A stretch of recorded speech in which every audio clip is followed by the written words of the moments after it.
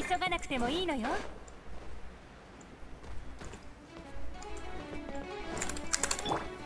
剣女盤石。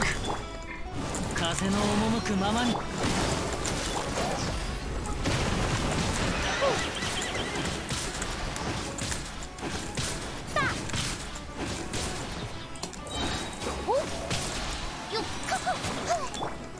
難攻不落。風を知れ痛がっちゃいない行こうさよなら。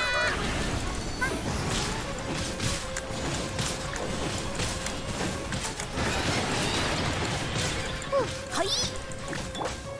岩山八九。せい。はっ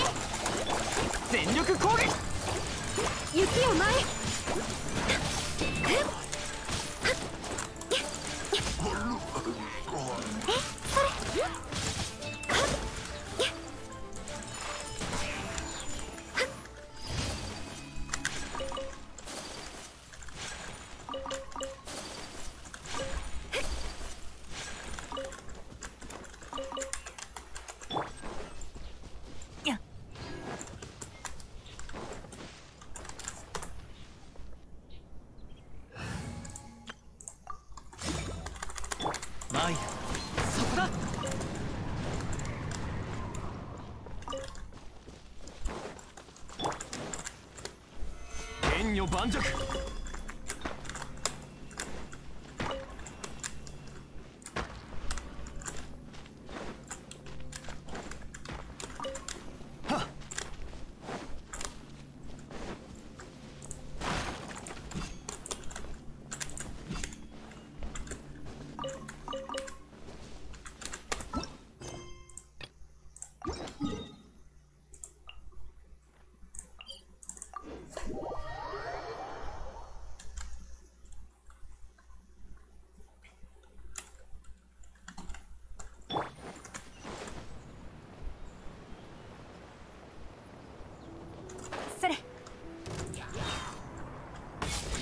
せよ。ふ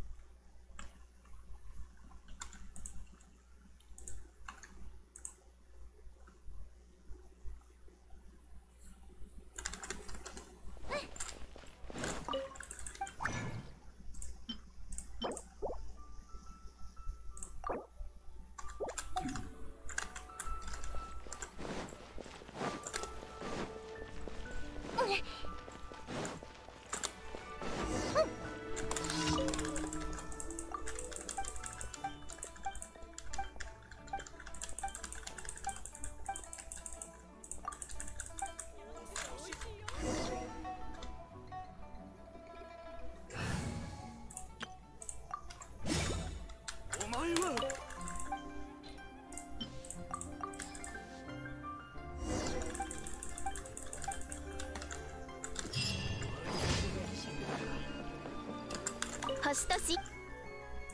無事きょん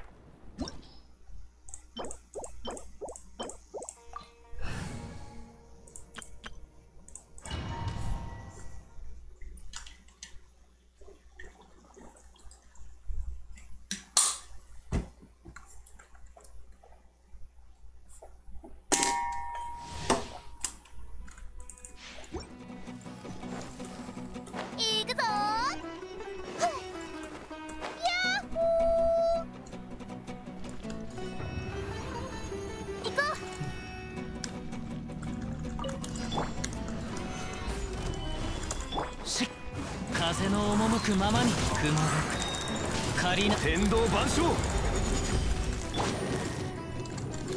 どの目が出るかしおい。パーよっ。よっ。両弦の蝶おい。難攻不落。を知れ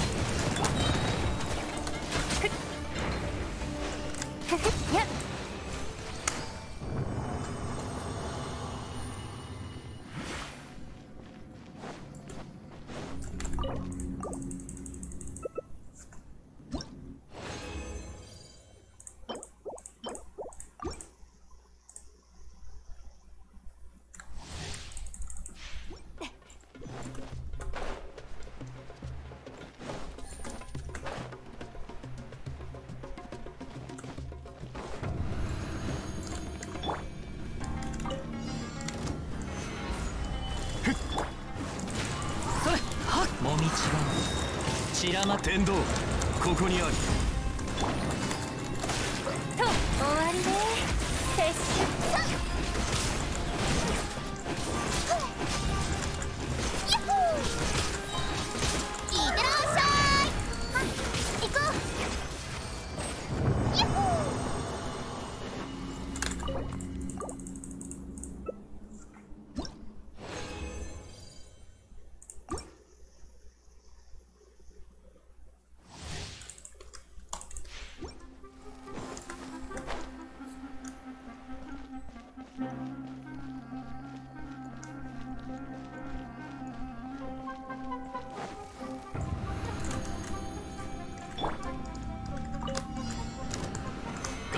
岩山八九風の赴くままに雲がく仮な。天道万象。捕まえた。糸よ。工作せよ。おやおや。ふう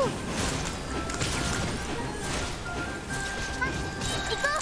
さよならばここよっ。難攻不落。かかれ Ooh.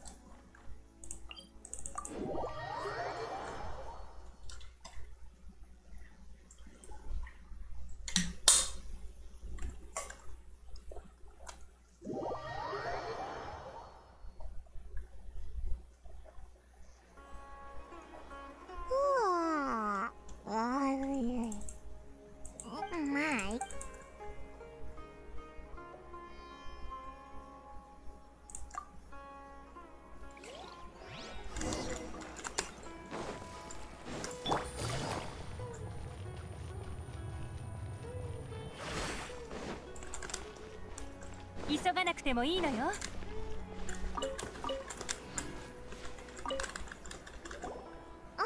ダニアザそんなことないわ。ううん。心配しないで。私なら大丈夫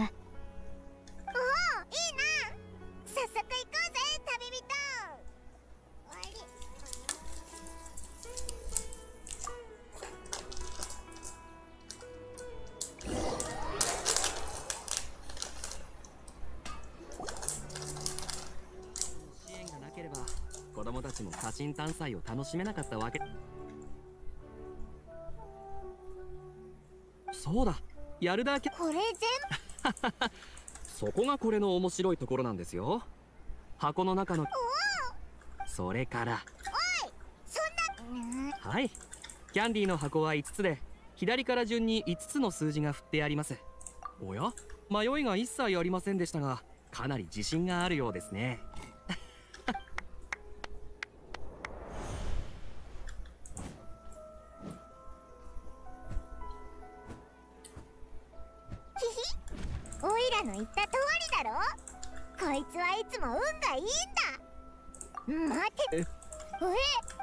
がに特進術。今のどうやって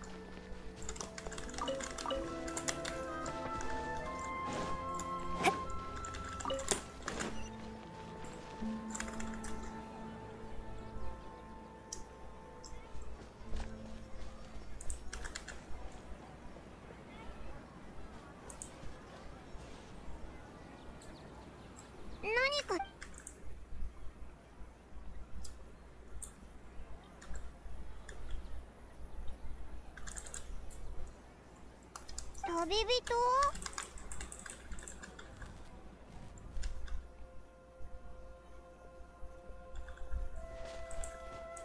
ああそこって。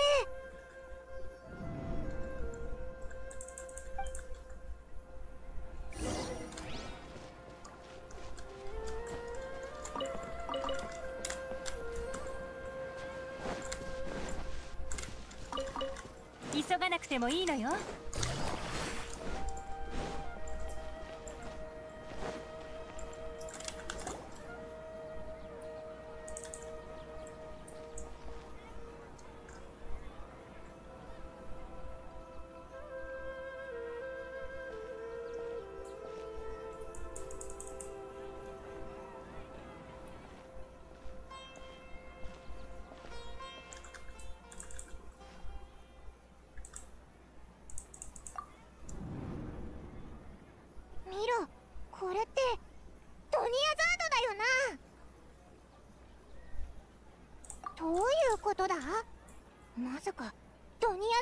2人いるのか？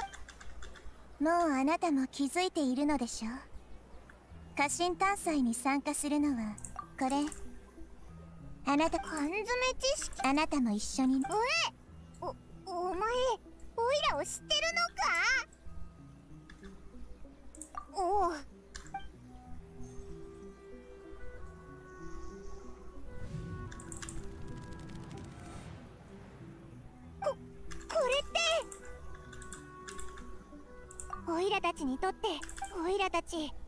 じ日に閉じ込められてたのか。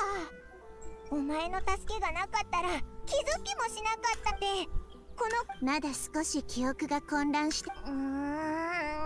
じゃあ他のあなたたちの騎士官はあなたたちの意識とあれら記憶との間にはもともと薄い紙があるようなものなの。おなじみの質。見ての通り。そして今その最初の彼女があなたたちの目の前にいるのでも時間はもうあまり残っていないわ。どうやらそろそろ頭の中で整理ができそうだ。私のことはナヒーダと呼んでちょうだい。いいわ。一体な。この世の万物は繰り返し循環する。そしてしだから私。ドニアザードのよ。もしもこの。だけど今。ナヒーダって。ヒユとはさて聞きたいのだけど現時点においてあなたたちの真実。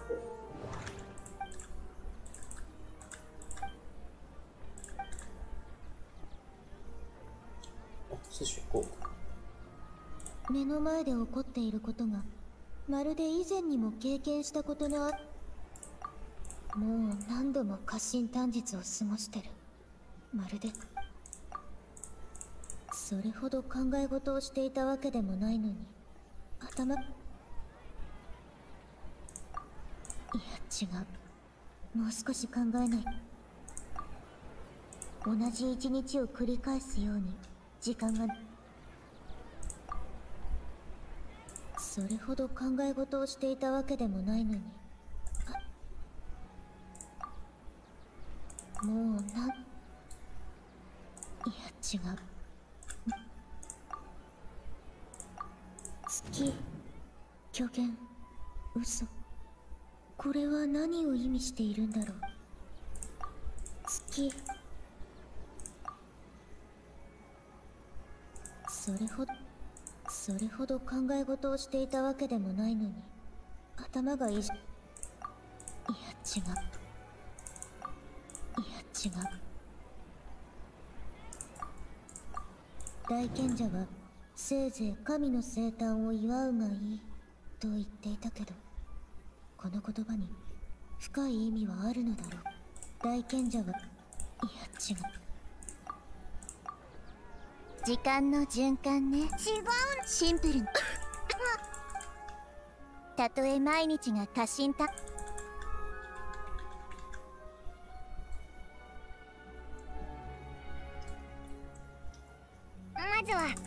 今のデモを抜ける時間の順すでに。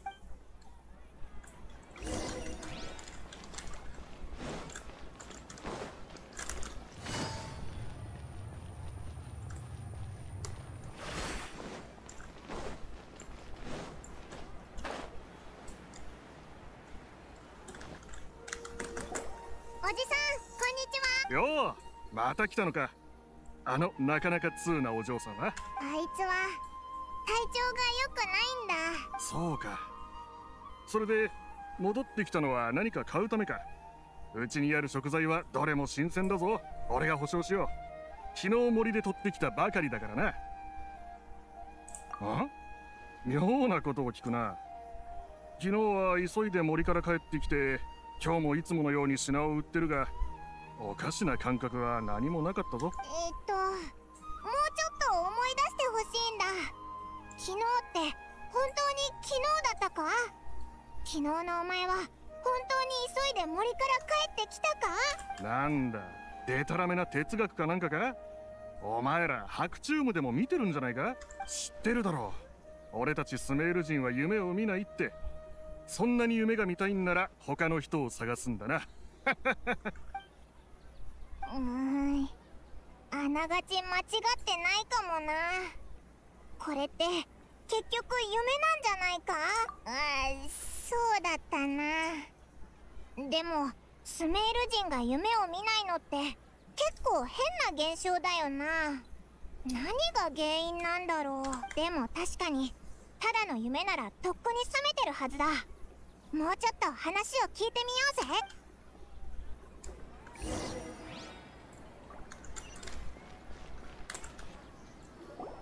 お君たちか。僕の占いがあまりにも的確だったからわざわざ褒めに来てくれたのかな。おおやっぱり。だから神の占いは当たると言ったんだ。君たちの理解が及んでいなかっただけみたいだね。おいおいなんでそんなに舞い上がってんだよ。そういった状況になったからお前のところにまた来たんだぞ。うん。僕に見抜いてほしいとそそれはあまり得意な分野じゃないんだけど。まだ未熟だってことだろ。それで一体何があったんだい？え待ってくれ。てっきり財布を落としたとか詐欺にあったとかそういうことかと思ってたよ。で今のって本気で言ってるのか？そんなこと現実的に考えればありえないと思うけど。やっぱり信じてくれないよな。すごい。すごいぞもちろん信じるとも。君たちを占った時の内容だけど今思い返してみれば月虚言嘘とまるで何かの前兆を表してるかのようだったろ確かに関係がないわけでもなさそうだな。他にも何かわからないか？うん。神が与える啓示はぼんやりとしたヒントに過ぎない。具体的なことを正確に把握できたとすればそれは神の領域だ自分の直感を信じ心の中の恐怖を克服すれば太陽は必ずや昇る。そっか。やっぱり占いは占いだな。問題そのものは解決できないみたいだ。収穫はほとんどなかったけど他に話を聞けそうな人はいるか？おー。確か輪廻の中の何日かはあいつのところに行ってたな。でもあいつはずっとオイラたちにからかわれてるって思ってたぞ。確かに。リシアは傭兵としての責任があるから。それなら本気で取り合ってくれるかもしれない。確かこの時間はリシアが人さらいたちを撃退した頃だよな。探しに行こうぜ。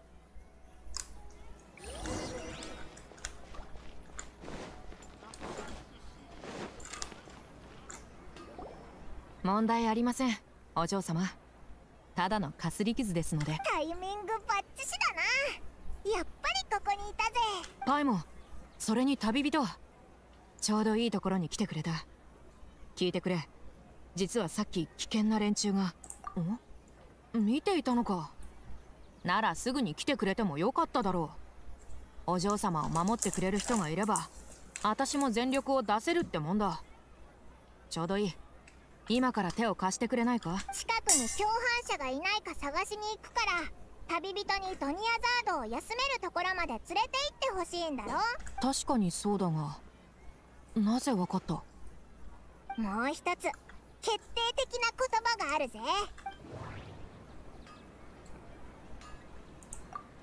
リシアはお金を集めるために自分の体験を売った。そして新しい体験に慣れていないせいで怪我をした。言ってやれうん。このことはお嬢様を含めて誰にも言っていない。あんたは知らないはずだ。それにさっきも私の言いたかったことを先に口にしていたな。一体どういうことだ？オイラの話を聞いてくれ。実は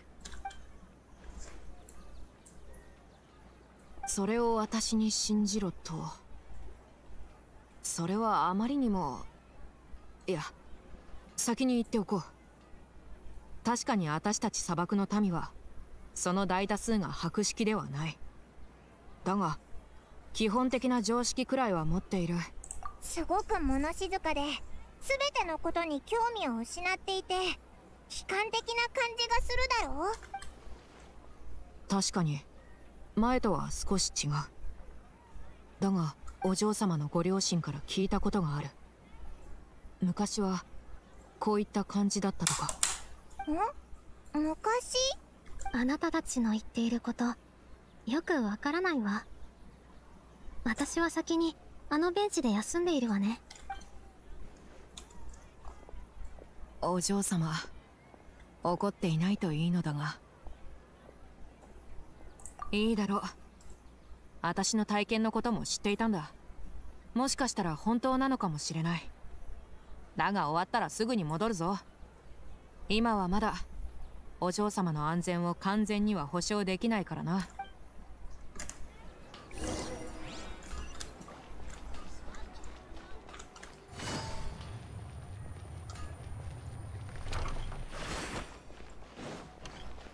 急がなくてもいいのよ。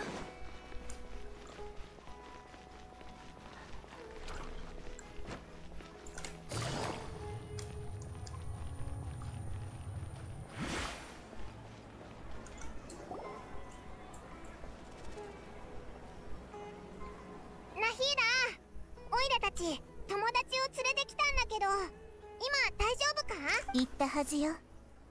人を連れてきても意味はないって。いやただ本当のドニアザードの状況をこいつに見せてやりたいだけなんだ。本当のドニアザード？一体どこにいるんだ？それにあんたたち誰と話してる？言ったでしょ？あなたたちは特別なの。他の人には私とドニアザードは見えないわ。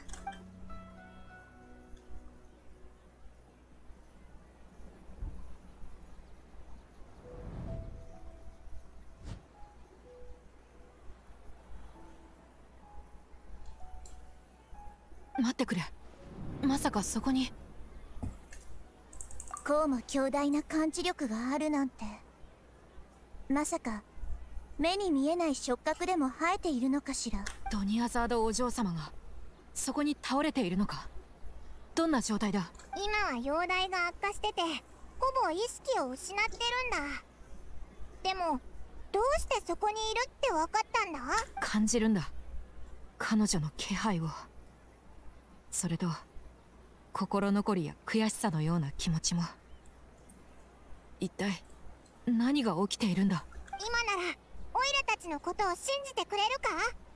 家臣短日がずっと繰り返されてるって。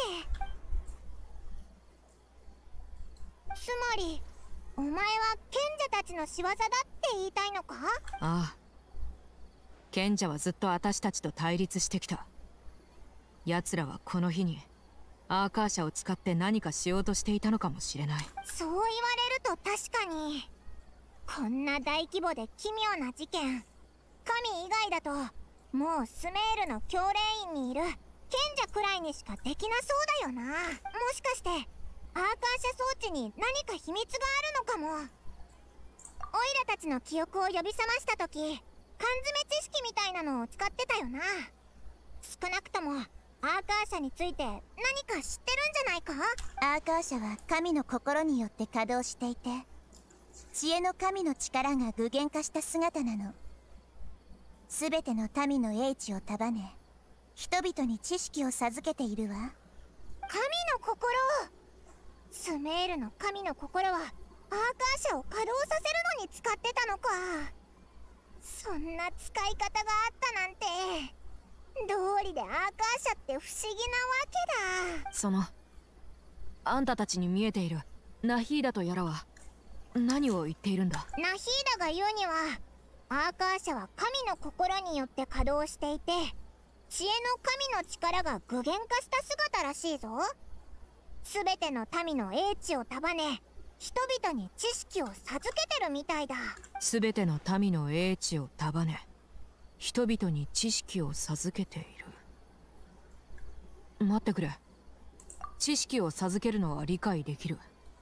人々はずっとアーカー社から知識を得ているからな。だが全ての民の英知を束ねるとはどういう意味だ？賢者たちも知識をアーカー社に記録してるんじゃないか？おお確かにそうだったな。お前は何か思いつかないか？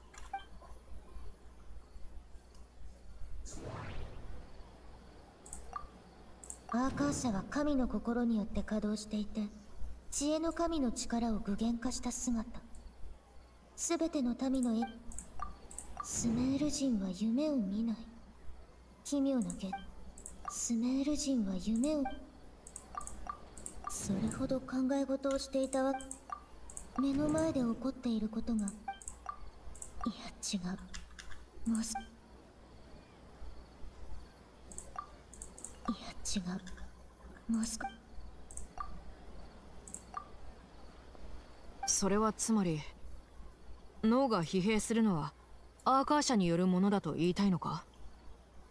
確かに意識してみると私も精神上に異様な疲労を感じるがそういえば砂漠の民たちが知識を求める時も賢者たちは知識は決して無償ではないと言っていたな。まさか民の英知を束ねるとはアーカー社が逆に我々の脳を利用することを指しているんじゃないか。さあな。知識を授けられる以上おのずと脳にも細工ができるはずだ。具体的な方法はわからないがな。でもなんでそんなことするんだ？スメール全ての民の英知を束ねることはスメールシティを一つの巨大な脳として使うのと同じではないだろうか。例えば最も優れた頭脳を持つ人物が解決できない問題でもその巨大な脳を使えば新たな結論を見出せるかもしれない。素晴らしい推理ね。特にスメールシティを巨大な脳と比喩したところは。ええ私も気に入ったわ。だったら早くアーカーシャ端末を外そうぜ。これで問題が解決するかもしれないだろ。ああもともと私も体裁上つけていたんだがまさか賢者たちにはめられていたとはな。この件が終わったら必ずや証拠を見つけ出してこのことを公にさらしてやる。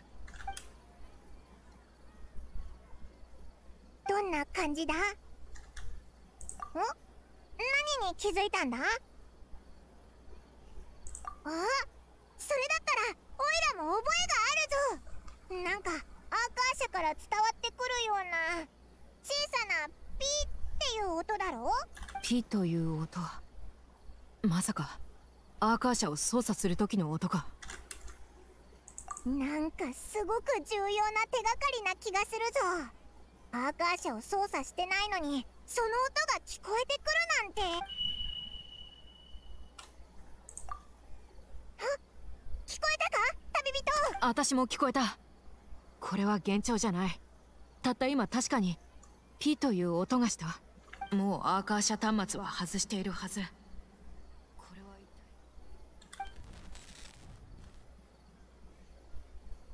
体段階の時間が予想を超えとるこのままじゃ犠牲者が出てしまうぞ。だが我々はもうこれまでの努力や苦労が水の泡になることを受け入れられはしない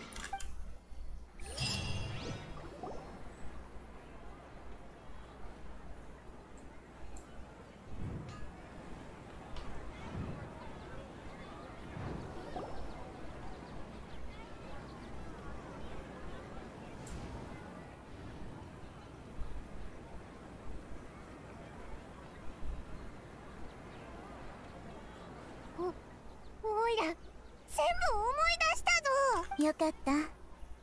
今回は適応が早かったわね。おいらたちアーカー社を外したのに。それでもあの音が聞こえてきたぞ。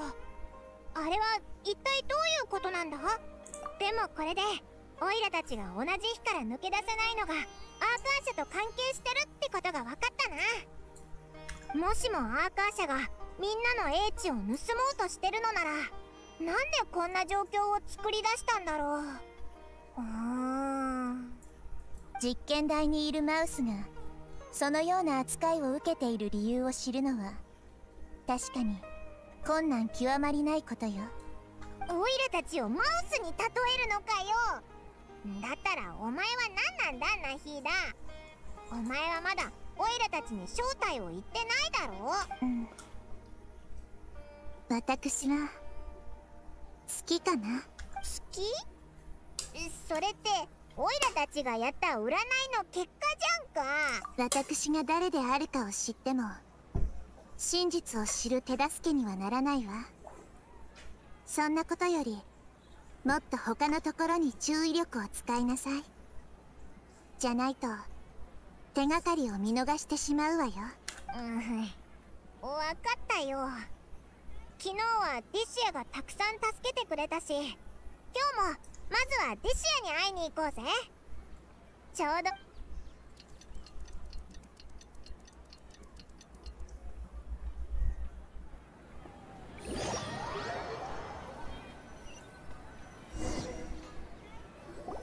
ここにいたのか。人さらいは私が片付けた。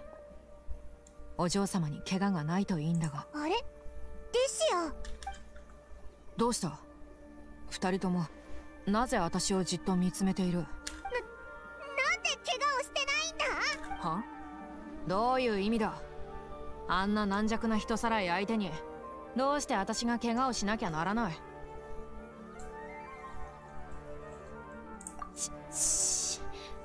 なんであんたが体験のことを知ってるんだ？私は誰にも言っていないはずだ。それにそのことはお嬢様に知られたくない。やっぱりディシアも記憶がなくなってるんだな。変なところ？うん強いて言うならそうだな。私が体験を変えたのはあんたたちも知っているが新しい体験だっていうのに妙に手に馴染むんだ。まるでこいつを使って数えきれないほど戦いを経験してきたかのようにな。つまり頭の中にはこいつを使って戦った記憶はないけど体の方にはあるってことか？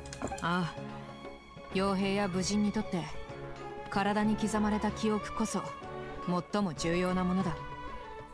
頭で一つ一つ覚えているような技はただの付け焼き場に過ぎない。旅人どう思う？そうだな。なんか希望が見えてきた気がするぜおおそうだな。これまでの家臣短術の輪廻の中じゃこんな状況ありえなかったし。何を言っているのかわからないがまだ危険が。危険がまだ残っている。だからオイラたちにドニアザードを休める場所まで連れて行かせてお前は人すらいの共犯者を探しに行く。だろ？どうして私の言おうとしたことを。独身術か？まあ早く取り掛かろうぜ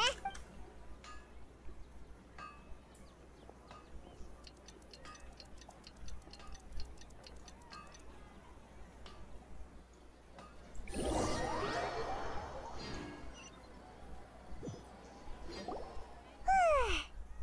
夜になったぜ。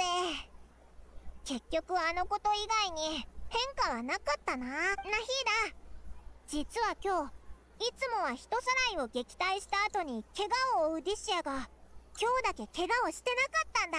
これって家臣短術の輪廻が終わったってことじゃないか？ドニアザードも。れで助かるかな？そう。そのような進展があったの。悪くないわね。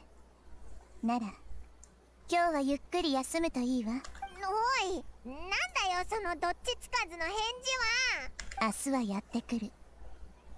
このことは誰にとっても当たり前のことよ。でも本当に明日が来るかどうか知ることができるのは明日のあなただけ今日が何回繰り返されたのか。今日の次が昨日である可能性はないか。明日という言葉がそもそも初めから捏造された概念なのではないか。もしかしたらこの世界は全てがまやかしでこの大陸の歴史もただの長い家臣探査に過ぎないのかもしれないわね。うーん。もうこの話はやめにしよう。ただでさえ頭が疲れてるっていうのに。だから明日になったらおのずとわかるわ。今日は無意味に脳を使うなということね。しっかりと心身を休めてちょうだい。パーッとトイレにでも行けばいいわ。ん？なんだって？オイラの聞き間違いか？あら？人はトイレに行った後すがすがしい気持ちになるって言うでしょ？だからそれを勧めたのだけど変だったかしら？えー、っとあまりにもおかしくて常識外れだから何を言えばいいのかわからないぞ。さっきまでなんか難しい道理を解いてたのに。そうだな。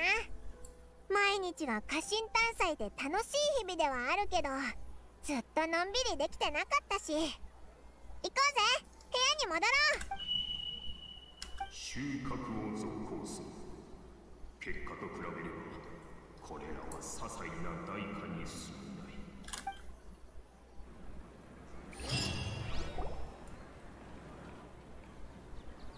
結局また同じ日かよナヒーダお前本当は昨日の夜家臣短術の輪廻がまだ続くって知ってたんだろなんで教えてくれなかったんだよ。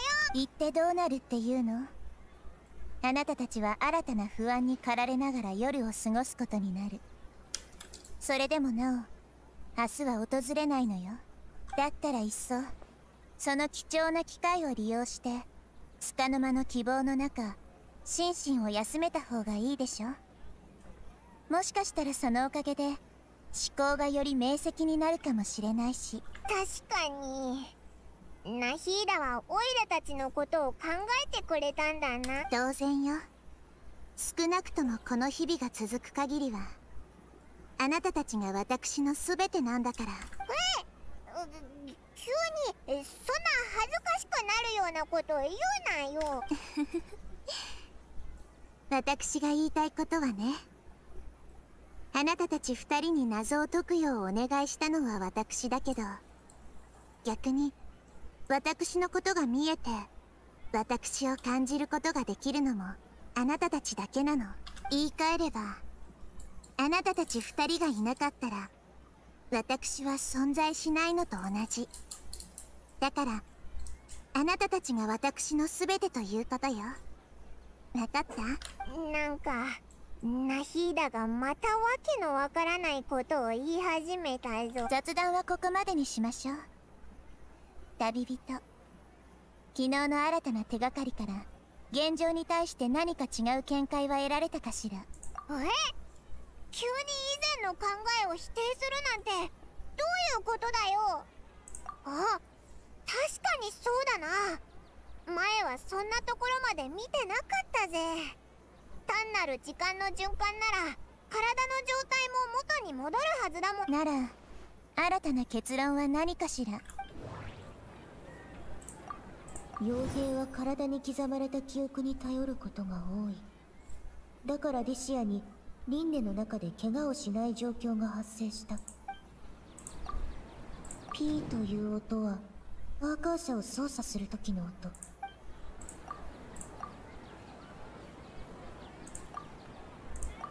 どうやら明確な関連。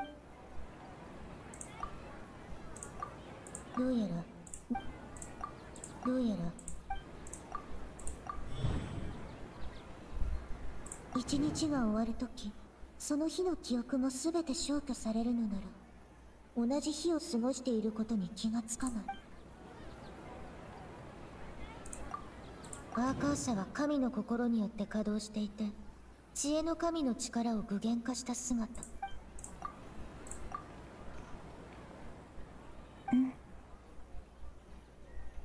そっか。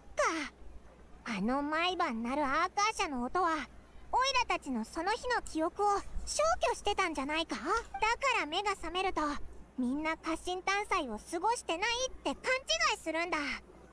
本当はもう明日が来てるのにみんな昨日だって思い込んでる。けど体に刻まれた記憶は消せない。だからリシアは新しい体験を扱えた。これで全部辻褄が合うぞ。とても巧妙な推論ね。れが正解なんだよな。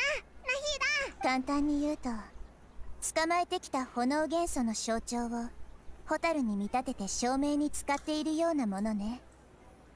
感覚にこだわりすぎるがあまり本質を見落としているわ。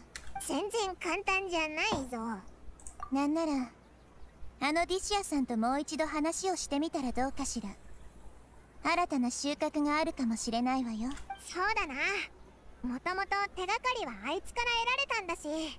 行ってみようぜ。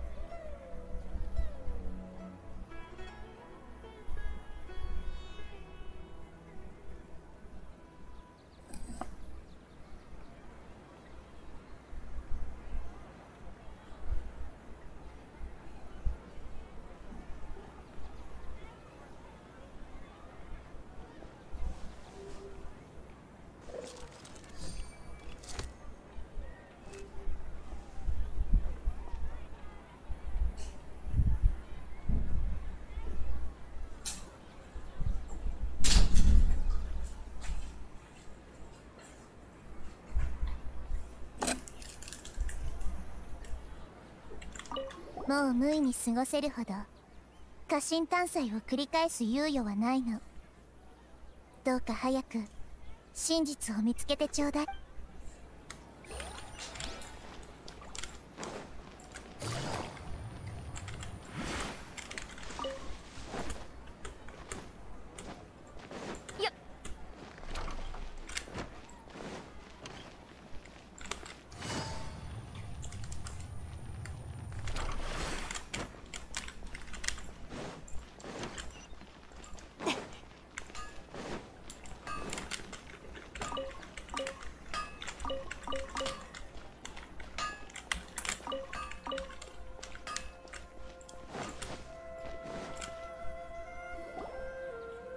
ここにいたのか。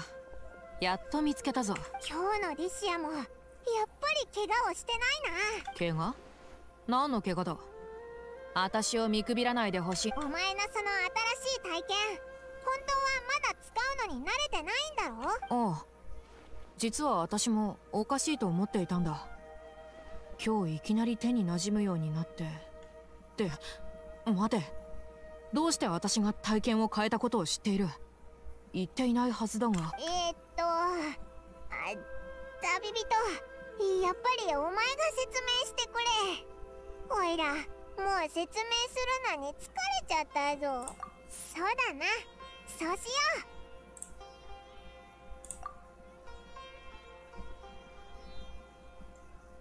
あ私がいない間に何があったんだ。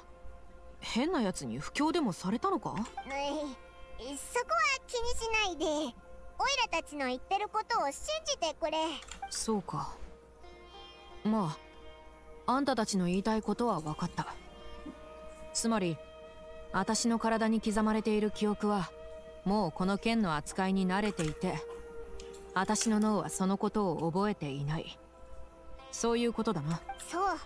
毎日それを忘れちゃうんだ。なら反論させてもらおうそんなことは絶対にありえない。うん。なんでだよ。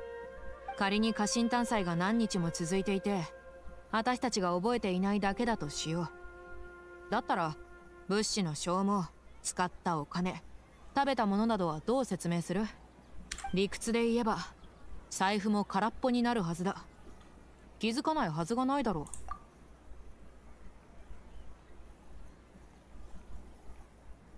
確かに。アーカー社で全ての人の行動を記録してそれからここにある資源を使って一日の始まりに戻せばありえないようなことだけど可能性はあるぞ。いやありえない。私には証拠がある。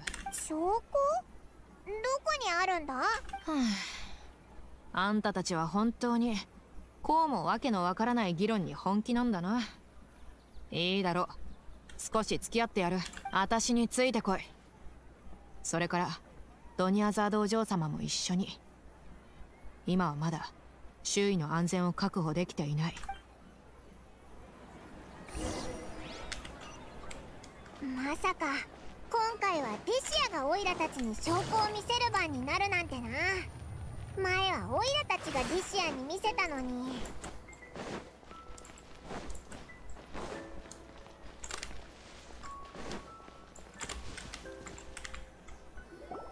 これだ。なんだこれ。お前が剣の練習に使ってる木製のダミーか？これがどうしたんだよ？これについている傷はわかるか？ここ数日の私の成果だ。賢者たちがこれを毎日取り替えない限りとっくにボロボロになっているはずだろ。そうだぞ。だから毎日変えてるんだろ？だったら賢者は毎回新しいダミーの上に私が過去につけた剣の傷を複製しなければならない。私も一人の武人だ。私が学んだ流派では非常に細かいコントロールが要求される。剣の振り方力角度切り込み点。その全てを入念にコントロールしているんだ。つまりそこにある全ての剣の傷そしてその剣を振った時の心境さえも私は記憶している。武人の剣は唯一無二。こういった言葉があるように完全に同じ剣筋を振ることは誰にもできない。私がつけた傷を完全にコピーするなんて絶対に不可能なのさ。そうか？何か精密な機械で少しずつ彫刻してる可能性だってあるだろ？写真機で撮った画像は画家の描いた風景画にとって変わることは永遠にないと言われているなぜなら前者には魂がこもっていないからだ。それは私も同じで彫刻で作られた後と武芸の修練によるものは一目で見分ける自信がある。ふん。これでもう疑問に思うところはないだろう。うん。これは近頃学者たちの間で流行っているというトンチゲームか何かか？なかなか面白いな。それじゃあこれで私は失礼するよ。もう時間も遅い。ドニアザードお嬢様をニーローのところまで送ってくる。また今度な。また壁にぶつかったな。記憶消去の理論は結局間違ってたってことか。でも少なくとも真実の一端はつかめたんじゃないか？おう。それは間違いなさそうだな。じゃあ何か新しい考えは思いついたか？おかしい？おいらからしたら最近起きたことは全部おかしいけど。ん？シティから出ない？あ本当だ！こんな簡単に思いつくことなんで今まで試してこなかったんだ？外の時間がここと同じ日になってるかどうか確かめればことがわかるはずだよ。でも本当に不思議だ。今まで一つの考えに固執しすぎてたのかな。それとも疲れのせいで思いつかなかったのか。とりあえず戻ってナヒーダに聞いてみようぜ。シティから出ることについてもしかしてオイラたちの忘れていることがあるかもしれない。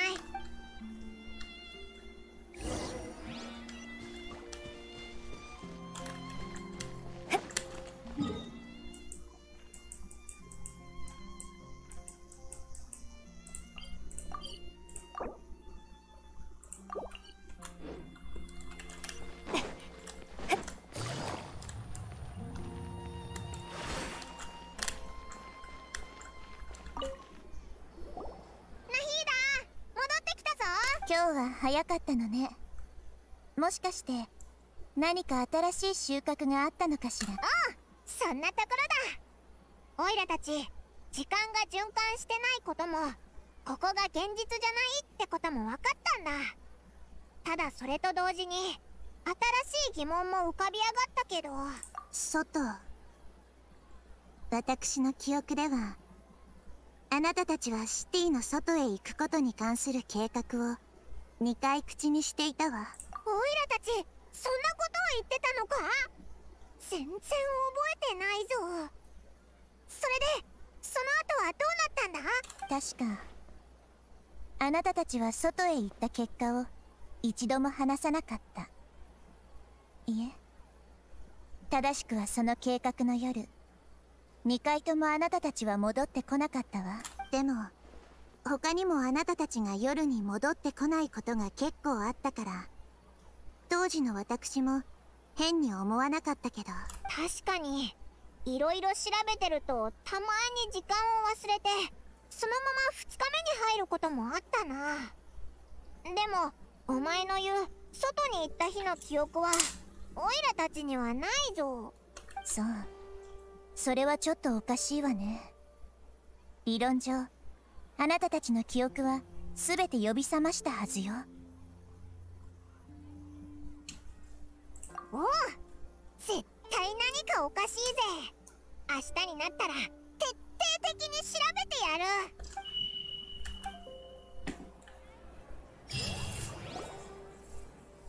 あ記憶が戻った。そのえー、っと。どこから説明したらいいんだ？旅人。あなたがさっき取り戻した記憶以外に他にも情報が届いているの。聞けばわかるわ。引き返せない。あそこにはあまたの空間がありスメールシティの過信短術はその中の一つに過ぎない。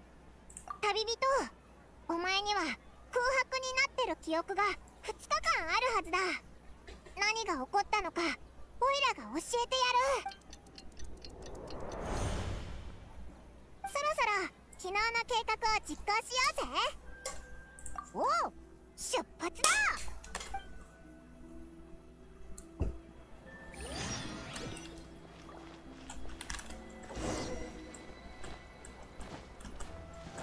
よし。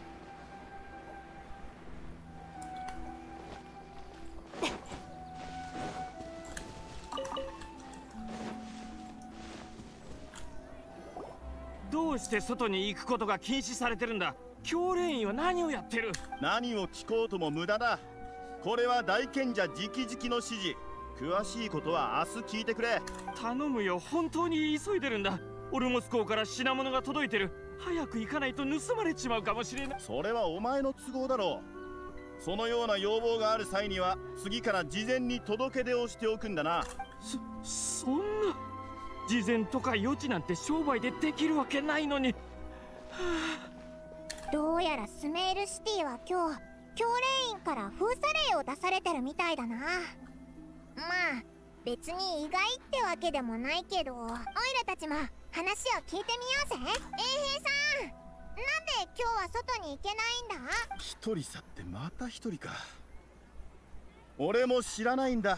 聞かれても困る我々に下された命令は本日スメールシティの出入りを禁止すること。他には何も聞かされてない。怒らせて情報を聞こうとしても無駄だ。もし俺が内部情報を知ることのできる立場だったらこんなところで守衛なんてやどうやら本当に知らないみたいだな。目的が聞き出せないならもっと直接的な方法で行こうぜ。衛兵だって無限にいるわけじゃないんだしどっかの壁からよじ登って外に出よう。ここでいいと思うぞ。衛兵もオイラたちに気づいてないし。えなんでだよ？オイラを置き去りにするのか？でもでも万が一予想と違ってて外で何かあったら。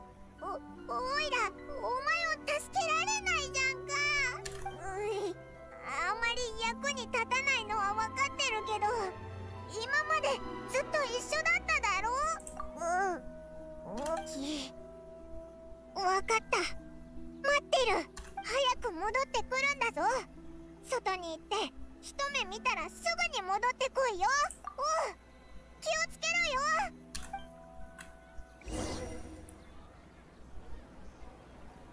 あ記憶が。ダメ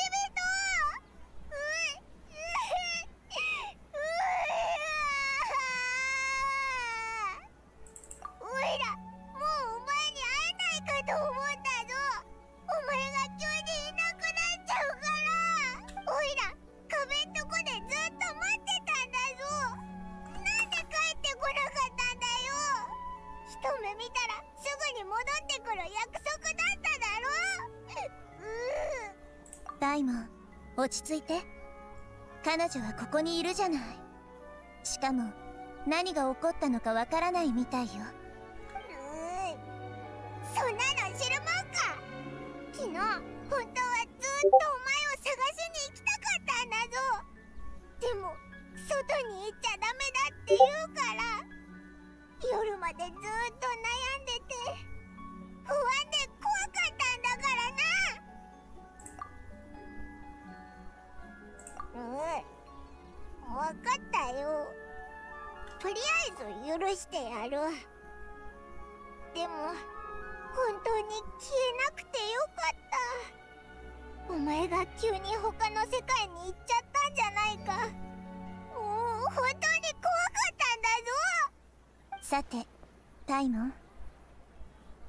なたの視点から昨日何が起きたのか話してちょうだい。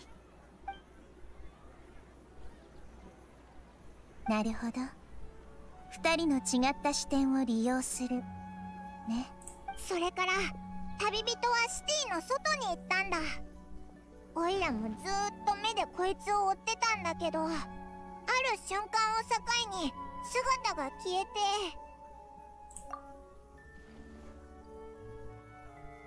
いやオイラはずーっとお前をしっかり見てたんだぞ。それで旅人の視点は？記憶が全てなくなっているのは確かなの？これで以前のことも説明できるわね。あなたたちは外に行ったけれど2回ともその日の記憶が完全になくなっていて呼び覚ますことができなかった。外に行くとオイラたちの記憶が完全に消されるのか？どうやら外には秘密があってそれが意図的に隠されてるみたいだな。でもそうなるとオイラたちも外に何があるか永遠にわからないぞ。例えばメッセージとかか？でもどうやってそれを送るんだよ。そんなに私を見ないで。私は見られることに慣れていないの。うん。分かったわよ。メッセージを伝達するツールが必要なんでしょ？少し時間をちょうだい。その間あなたたちはドニアザードの面倒を見ていて。よしそうこなくっちゃな。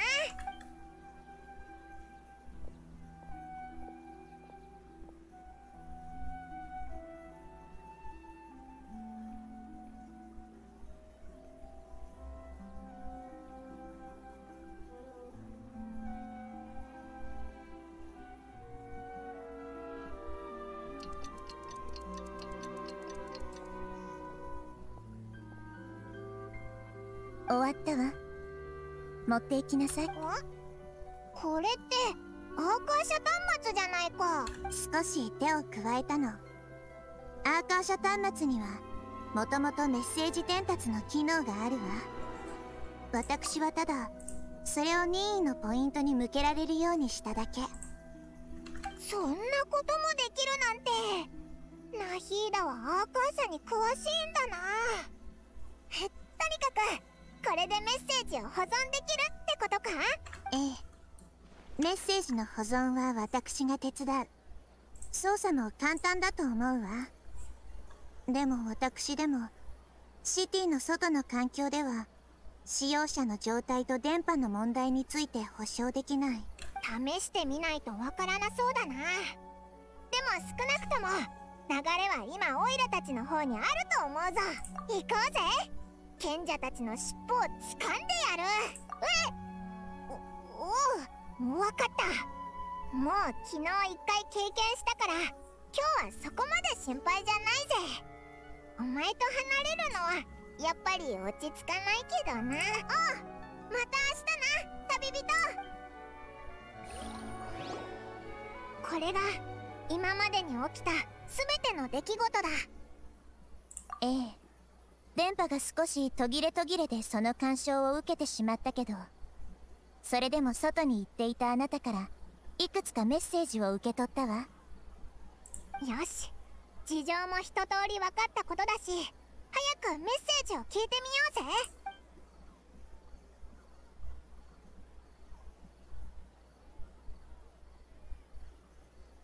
引き返せない。あそこにはあまたの空間があり私たちがいるのはただ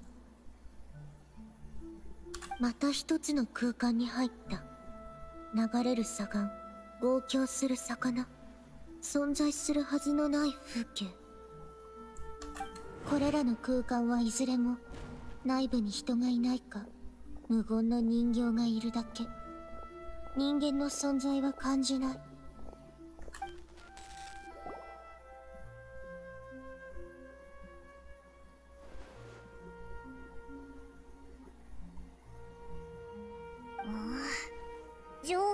がすごく多いな。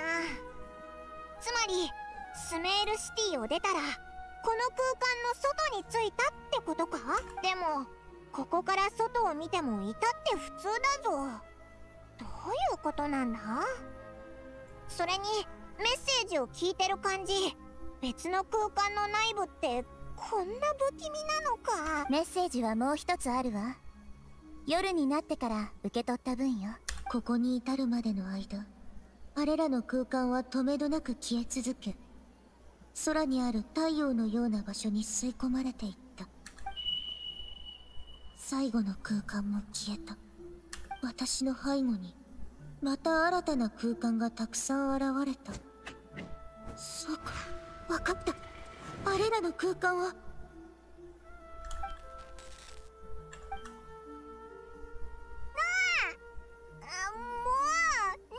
ここで途切れちゃうんだよ。旅人は何を言いたかったんだ？空間の正体は何だったんだよ？おそらくちょうど昨日がその時に終わったのね。そうだ。オイラもさっきアーカーシャの音が聞こえた気がするぞ。現実で鳴ったのか。それとも今のメッセージから聞こえたのか。メッセージよ多分その時の旅人のアーカーシャ端末から発せられた音ね。その音がした後旅人は最後の空間も消えたって言ってたな。旅人？あなたは最後の空間を何だと思う？シティの外に行ってから異様な光景に包まれた空間を数えきれないほど見た。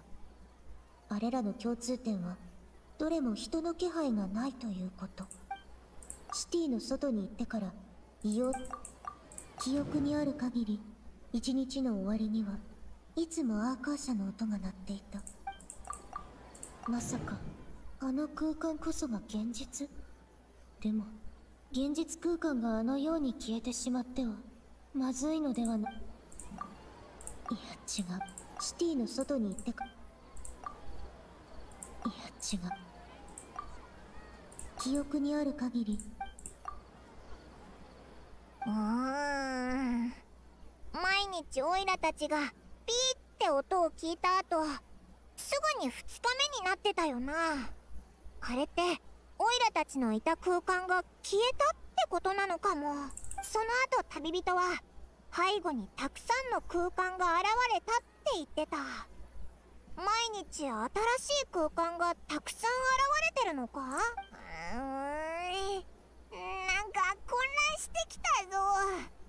そのたくさんある空間って一体何なんだよ。当時の魔人戦争がどんなに悲惨なものであったとしても魔人たちにとっては広間にある7つの座を奪い合うただのゲームに過ぎなかった。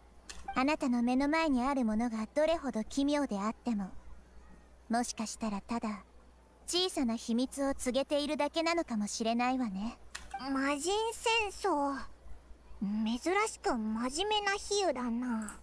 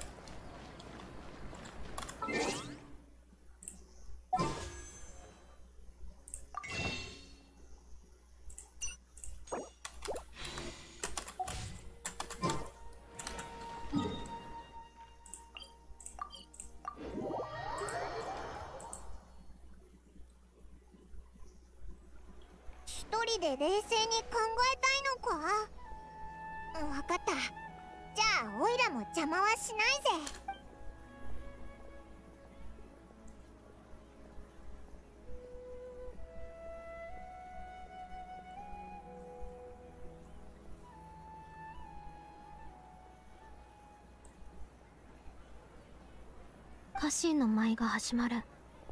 もう行かなきゃ。そのドニアガード一人で行ってくれないか？オイラたちまだやることがあるんだ。そう。分かったわ。また後でね。旅人考えはまとまったか？もうだいぶ時間が経ってるけど。おおやったな。早く教えてくれ。いややっぱりナヒーダのところで話そうぜ。今度こそ真実を掴んでやる。